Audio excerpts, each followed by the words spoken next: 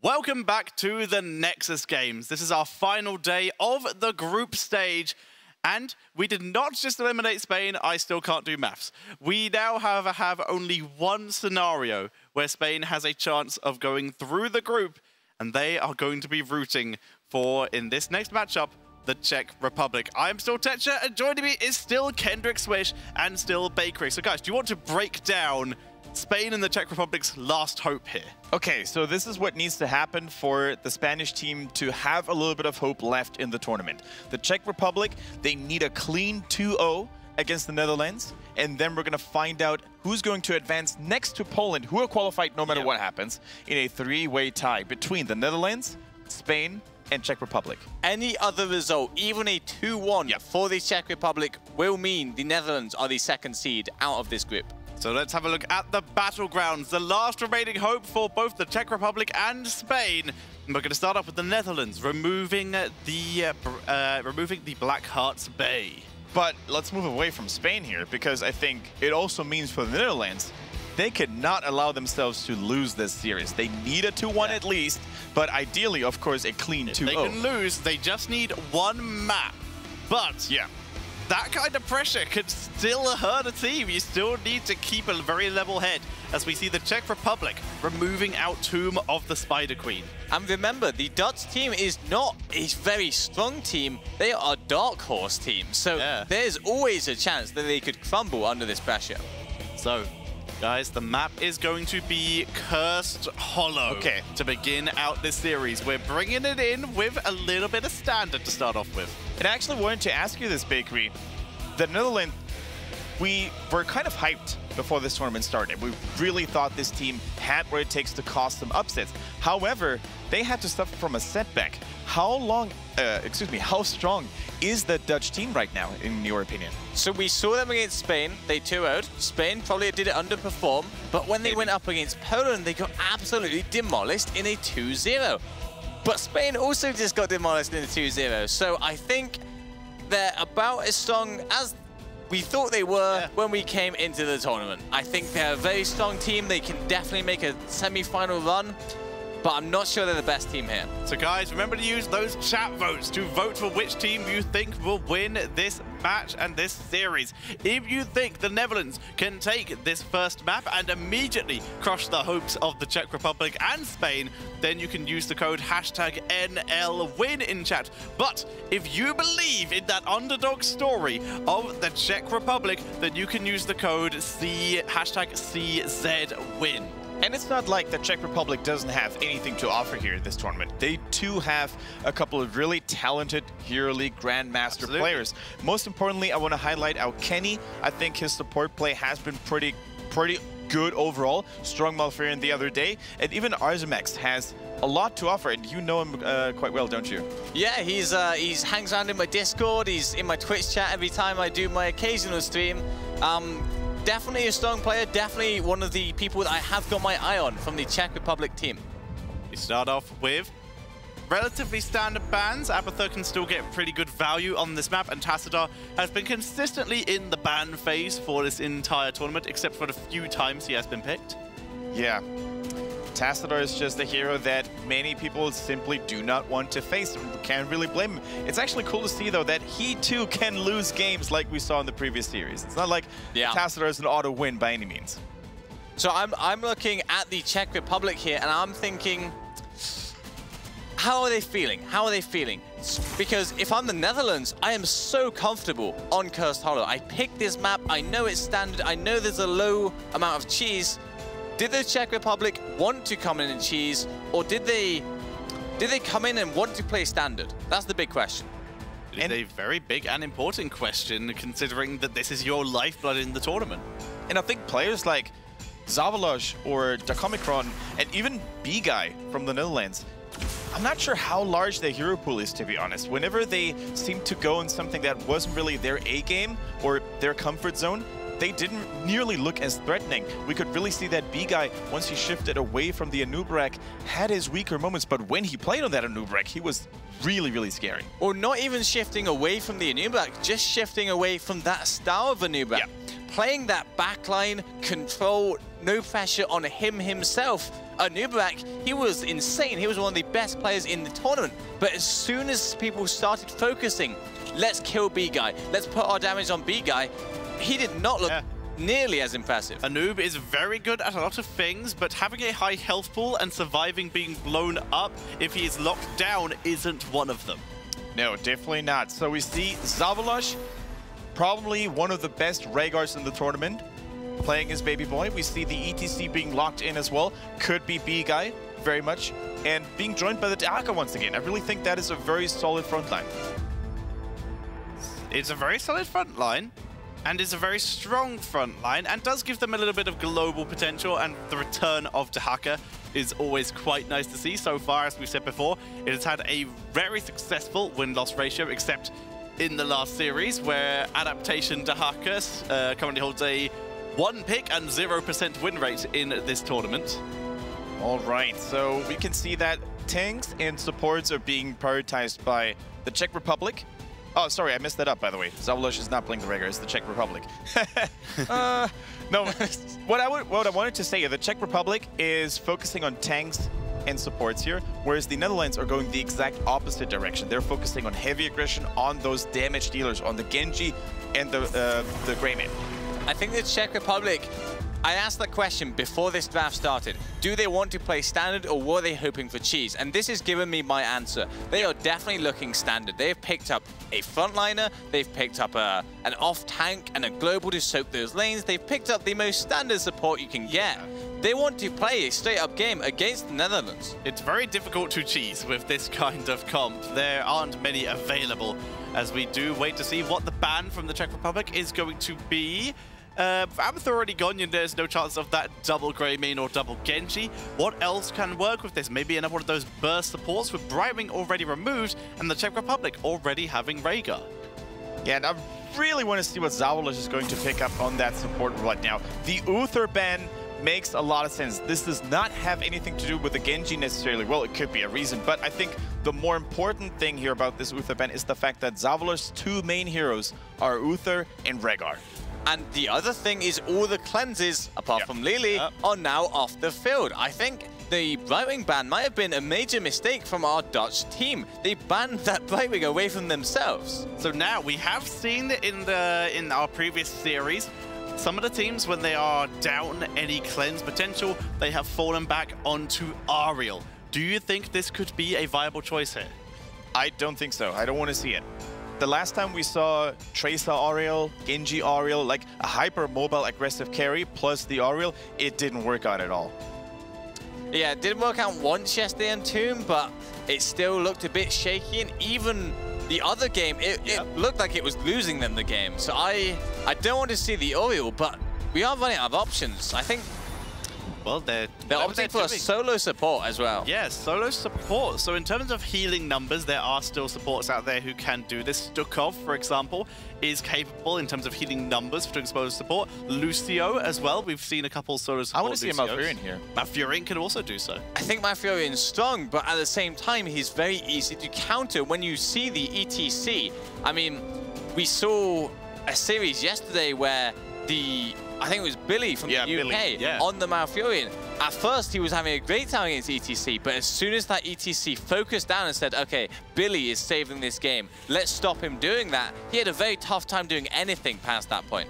It's really, it's really funny, isn't it? If you take a look at it, ETC and, Dak and Dehaka provide so much pressure to almost any solo support. If you pick in a Morales, well, she could always get The surprised. hacker's bone Yep. behind. Like, So maybe it's hard to say. Like, what about a Kharazim to maybe bring the aggression towards the enemy team? Then We have not seen a Kharazim with any of his new buffed level 1 talents. That far. of course, Transcendence and Insight.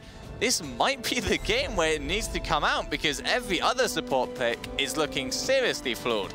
So we're seeing Cassia and the Malthael coming in here for the Czech Republic. The Cassia going to be very effective against that Greymane, and if he's able to hold him still long enough, which ETC can do so against that Genji, I think it has to be Lucio.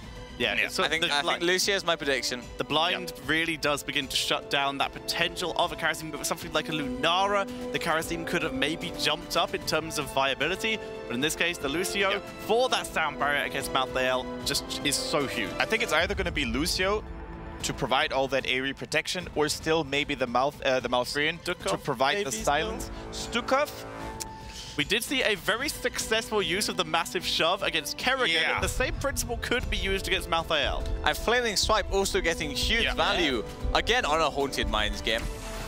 Lucio locked in, Lucio. though, with We the best say, pick. Yeah, we did say it was potentially the best pick, and like you said, the Golden Frog, they swapped off the skin, so slight concerns here, Bakery. I was voting for Netherlands, I think, then, but they just swapped the Lucio skin. I've changed my mind. Well, right now, the chat appears to be leaning ever so slightly towards the Czech Republic, but this is the closest, now it is the closest vote we have ever seen Wow. with a 50-50 vote ratio. So it is either the community out there not being convinced of the Dutch team anymore, or the Czech Republic has brought in their entire country to vote for the team here, it seems. I like it though. 50-50, that's the closest matchup we could possibly hope for. Unfortunately, we cannot get a 50-50 desk with there being three of us. So, I'm going to ask you, who do you think came up better? If we ignore the team names and what we've seen before, who came out with the better draft? I think the Netherlands, they have clear weaknesses, and I do not like the solo support Lucio. But I don't, uh, the Cassia, the Cassia's ruined it for me. I would have voted Czech Republic, but as soon as they locked the Cassia, we've never seen Yeah. it be successful. I'm voting for the Netherlands. Kendrick? I like the draft by Czech Republic, but I like the players of the Netherlands a little bit more. Okay, so now include, because I said without the players, now including the players, what is your vote? Netherlands? Netherlands. Still lean with the Netherlands. The Lucio is still getting enough faith from our two casters. I do like the Malthael, but like you said, the Cassia really does bring concerns for me. So Yeah. I'm having issues with this. The Malthael, of course, could make up for that. Maybe the Malthael is going to provide enough distraction in the front line for the Cassia to reign supreme. The real question is, are we going to see a Valkyrie or a Ball of Lightning? Because so far, Valkyrie seems to have actually been the favorite. I think Valkyrie is potentially very good to follow up that stun combo or even initiate. Yeah. But, I mean, there is no cleanse, so it would get value there. But at the same time, I'm not sure they can actually kill anything Yeah, if the sound barrier does connect. Who is the target? It would have to be Lucio, Lucio. who has Boop counter potential. We have the, get the Greymane, who can jump into Worgen form, Genji, who dashes away. And if you're dragging in the Sonya or the Muradin, you are having a miserable time. Final thoughts, guys. I think the Netherlands are going to take it. They need to win at least one game so they can make any mistakes. So we are going to head, ladies and gentlemen, into game number one in this best of three series between the Netherlands and the Czech Republic. And Kendrick, what do you have to? Uh, would you like to introduce the team on the left-hand side? Oh, I would love to introduce my Dutch neighbors here. we have Dacomicron on the Sonya, B-Guy plays the Muradin, and in the bottom lane we see their teammates. Six on that Genji, Atmos plays the Greymane, and Zavalosh plays one of my favorite heroes, Lucio. Whereas on the right-hand side, fighting for both their and unintentionally Spain's life in this tournament, it is the Czech Republic, with Resmex on the ETC, Deathra on the Cassia, Kenny playing the Rehgar. We will. We have Zach Zarganis playing on the Malthael. We'll introduce the last player in a Whoa! second. As First Blood goes over to the Czech Republic as they wreck the Greymane. And in the top lane, playing on that Dehaka, it is going to be... It is going to be Thray, hiding, very being very sneaky. Yeah, that's what Dehaka does best, being sneaky and surprise enemies from unexpected angles. Now, that was a pretty neat pickup by the Czech Republic, but don't let that fool you. First Blood in Heroes of the Storm sometimes is nice to have, but usually it doesn't mean a whole lot in terms of global XP. Now we see Genji 6 playing a couple of mind games Yeah. here. Azimex tried to stun him with a power slide, but the Ninja was too fast. It was a good reaction to have, but a little bit too slow Right. coming out from Resvex here. As we do see Deathra, they're going to be the main damage dealer in this team until Malthael gets level 10. Just to dr- try to put the pressure onto the bot lane. Difference with this lane setup is the fact that one ATC, very heavy tank with a little bit of self-sustain, he will be able to frontline more than maybe Genji or Greymane can. The difference is Lucio is not going to need mana to keep his team topped up as much as Rehgar is. And Deathrow is doing such a good job thus far at staying safe by constantly moving and landing those spears on the gate. Once the, uh, the spear lands, it's going to split in half and damage all the towers in a line. It is great poke potential. He's also gone for, Nice spear. That is a good trade there for Dark Omicron. But we also have the charge strike Yep. coming in for Cassia. That's going to be huge once we move into the actual team fight stage. And it's going to be nice when fighting uh, in amongst the minions here. And if we take a look at the lane setup here in general for the Czech Republic, each of their lane consists of a very solid hero. Malthael is definitely going to dominate whoever he faces, in that case Muradin, because the tankier a target, and especially if it's a melee character, the more damage his passive is going to give to him. In the top lane, Sonya should normally, normally always dominate at Dehaka. In the bottom lane, we saw all the value provided by that Rehgar, Auriel, and ETC, uh, excuse me, Cassia and ETC lane. Muradin and Sonya currently holding their Yep. level 4 talents. They both went for block at level 1. We do still see the very standard Thunder Burn coming in Yep. from the Muradin. Sonya, she will sometimes pick uh, focus attacks, but we have seen a couple Seismic Slam talents to increase that wave clear. The question is, how much do you want to commit to auto attack builds if you face the Cassia? Looks like Sonya still believes in the focused attack, and I can't Yeah. really fault her for that because all she needs to do, and all she's probably going to do anyways, is chase someone down like Rehgar or maybe the Malthael. See. Dargonos does get Nice, taken out. Very nice kill indeed, and good timing. And as such, we will see three more heroes, well, two more heroes, sorry, rotating down to this tribute, because Sonya rotated from top to mid to soak the lane.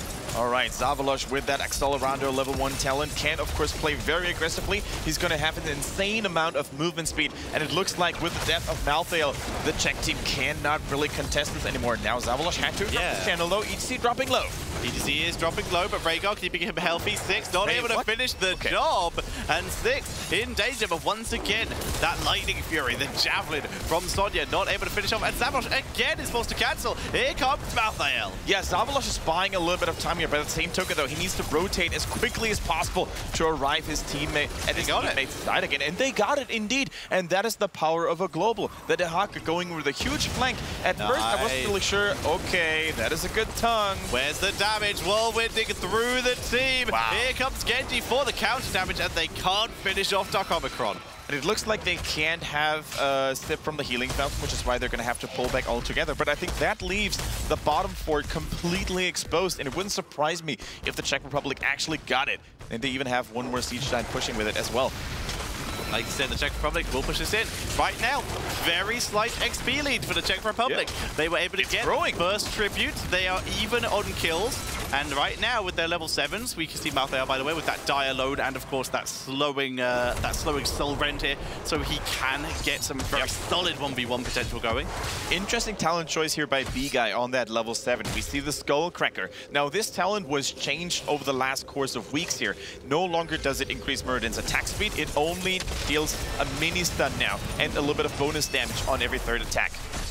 See the burst of light used there by Deathra, keeping himself alive and doing some AoE damage as he begins to move in, continuing to once again try and drop the spears, as it is going to be a 4v5 currently. But Dehaka could tunnel in, he's going to have to, his Resurrect dropping low, his power sliding through, trying to get the stun, they focus down Muradin, who is taking down Sonya, also dropping low, on launch from Kenny, picks up the kill. And the Czech Republic is turning on the heat. We didn't really think they would have a lot of chances here, but the Dutch team seems to be struggling. This early game doesn't look good at all, and we talked about it, Tetcher. The draft looked rock solid by the Czech Republic. Only the Cassia was a thorn in Bakery's side, but hey, they make this hero work like a charm up to this point. So far, it's going well. We'll see if it continues to do so into the mid to late game. As once again, chat proves they're better at predicting than we are, as we currently see Czech Republic with a full level lead.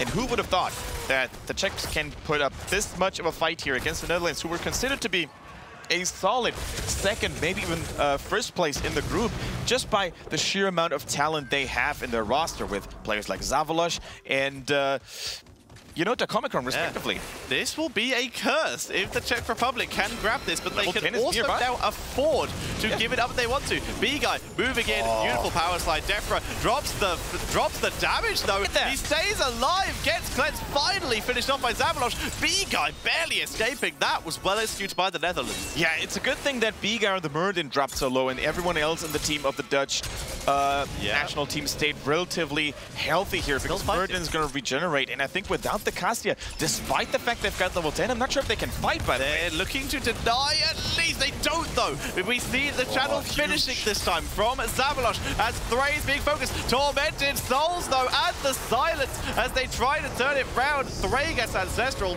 and that is enough to get everyone from the Czech Republic out. And Moshpit is still available as it was interrupted part way through.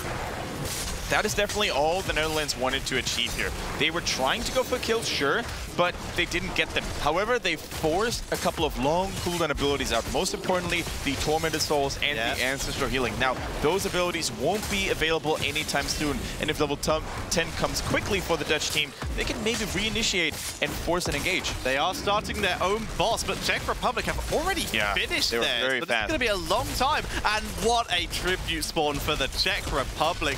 Resmex is in a Uh, risky they need to position. Is he going to force the leash? The thing is going is- to be a curse. Even if they get the boss, it's going to be a curse. They Yeah, the thing is. I don't think the Dutch team can make it to level 10 in time, so they're like, okay guys, we're gonna take this curse, Yeah. but at least we get the boss out of it to keep the bottom lane clean. But look at that, the rotation coming in immediately by the Czech Republic team. Cassia being joined by Rehgar and Malthael. They're pushing down the top board, and this is going crazy well for the Czech Republic. Top boss is still very healthy. ETC is beginning to take those siege giants, wants them to join in with this boss push. They are looking a brutal for push. An, an eight, nine minute keep, Kendrick. They do abandon the siege giants though. There's only so much the Netherlands can do Yeah. now. Their uh, their defensive structures are not firing at all. And as you said, the Siege Giants could have actually joined here. ETC The was Haka trying to get them, but he decides that frontlining and maybe getting a nice mosh pit in is more important. Moshpit is available, Ball Lightning's available, Ancestral just came up, as did Tormented Souls. Dehaka can tunnel in if they want to try and make the play. As the keep is dropping down. Eresbex wanted it, but a good zone back here Yeah. from the Levelers as they want the Uh-oh. counter play. The sound barrier dropped in advance. Tormented Dragonblade. not getting a huge amount of value here. The Dragon Dragonblade, though, is focusing down Deathra, who will get taken down. We Oh! see a huge play killing off the Genji, though, as we see a lovely Dark Omicron trying to sustain through three members, and he's doing it. Is he gonna get? Focusing onto Zargonis, who will get taken down. Surprise to Harker, though. They want to turn Oh, around. spin to win, baby. Huge spin to win. Dark Omicron refuses Wow. to die as Thray is forced to retrieve Resmex. His port is cancelled as him and Dehaka run for their lives. But a nice spear. Dehaka is only but delaying the inevitable at this point unless he can tunnel out. Last ditch effort. He's buying time, waiting for his cooldown. Too much damage. He will go down. Okay, Teacher. This was a pretty nice cleanup for the Netherlands, right? The two star players, Zavalosh and Takomikron, delivered. Especially the Sonya was cleaning house. But look at what happened. The top keep went down. And this is all the Czech Republic wanted to achieve. True, they lost a couple of heroes, but they traded temporal damage against permanent damage. And that is really always a good trade for the team that has a couple of heroes lost. They are also currently a level and a bit ahead. The Czech Republic still looking very solid despite losing those heroes. Dehaka has now returned. They have everyone alive. This is fine. This is a pretty solid situation here. And I love the pickup of that Encore coming in for Redback. As you can see how willingly he how willing he was to play aggressive near the enemies capturing a boss. Yeah, exactly. And let's not forget about one thing either. The Czech Republic, they got the best keep they could have hoped for. It is the boss lane in the top lane. So any further boss attempts or any further unlocked bosses in the top lane are going to straight up go for Oh, the core. Oh, yeah, Zargonis. Oh!